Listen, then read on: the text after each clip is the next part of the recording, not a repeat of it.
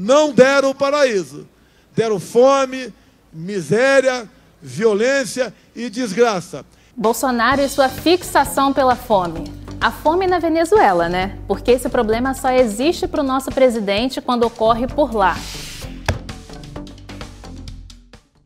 Nas últimas semanas, Bolsonaro tem rejeitado publicamente o fato de que existem mais de 33 milhões de brasileiros passando fome. Nessa campanha à reeleição, o presidente já convocou refugiados venezuelanos por duas vezes para contarem suas histórias e vender o velho lema: E se o PT ganhar, o Brasil vai virar uma Venezuela. Afinal, o que importa a Bolsonaro? Se indignar com a fome ou explorar a miséria do país vizinho para fins eleitorais? Tem texto do Guilherme Maziero sobre esse assunto no Notas, o blog do Intercept.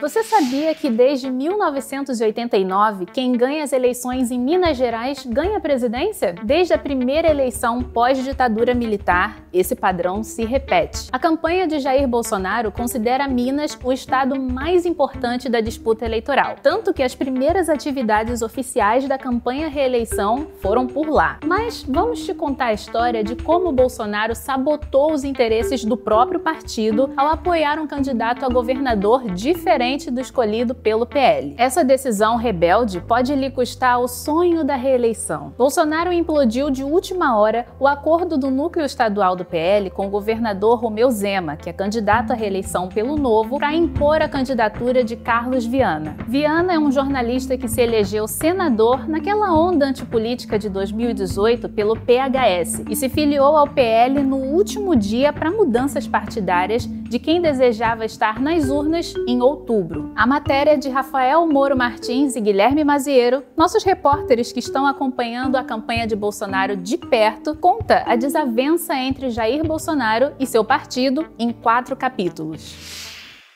Sobreviver aos efeitos do bolsonarismo é uma tarefa diária para muitos brasileiros. Mal sobra tempo para organizar as ideias. Por isso, análises como a do filósofo Rodrigo Nunes, autor do livro Do Trans e Vertigem, ensaios sobre bolsonarismo e o mundo em transição, são essenciais para diagnosticar o momento político que estamos vivendo. Nunes foi entrevistado pela nossa colunista Fabiana Moraes e aponta ações necessárias diante de todo esse caos protagonizado pela extrema-direita. Para ler a íntegra da entrevista, é só entrar no site do Intercept. E aqui vai um trechinho. No caso do Brasil, os pânicos morais e o discurso do anticomunismo começaram mais ou menos junto com as administrações petistas, porque naquele momento era um dos poucos jeitos de bater em governos que eram altamente populares. A entrevista completa está no nosso site.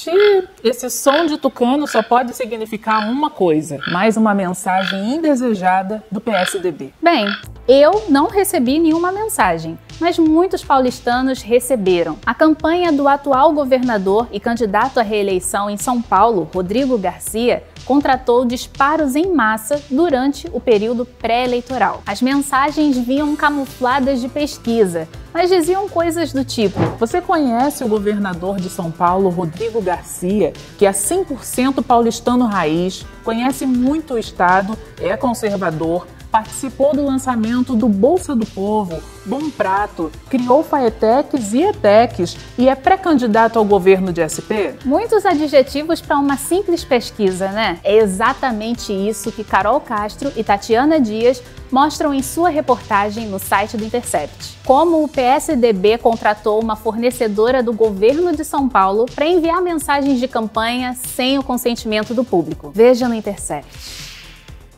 As vagas de cotas raciais em cargos mais elevados da administração pública são uma conquista ainda recente no Brasil. Elas surgiram em 9 de junho de 2014, durante o governo Dilma. A lei estabelece que 20% das vagas em tribunais, universidades, procuradorias e outras instituições sejam reservadas a autodeclarados pretos e pardos. Mas fazer uso dessa ferramenta de democratização de cargos não é tão fácil. Na coluna de de Fabiana Moraes dessa semana, você encontra o relato de um engenheiro civil que foi excluído de um concurso graças a uma interpretação questionável da lei de cotas. Ele é apenas um dos mais de 800 prejudicados em um concurso da Polícia Rodoviária Federal. Entenda no Intercept.